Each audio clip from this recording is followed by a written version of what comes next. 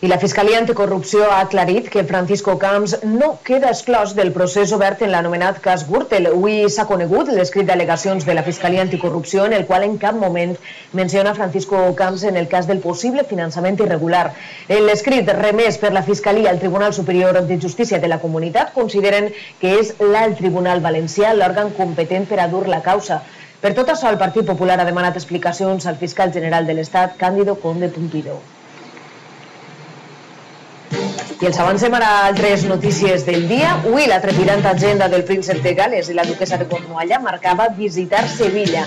Davall un salt de justícia han passejat pel centre de la capital, han visitat l'Ajuntament i s'han emportat més d'un souvenir típic a l'hispànic.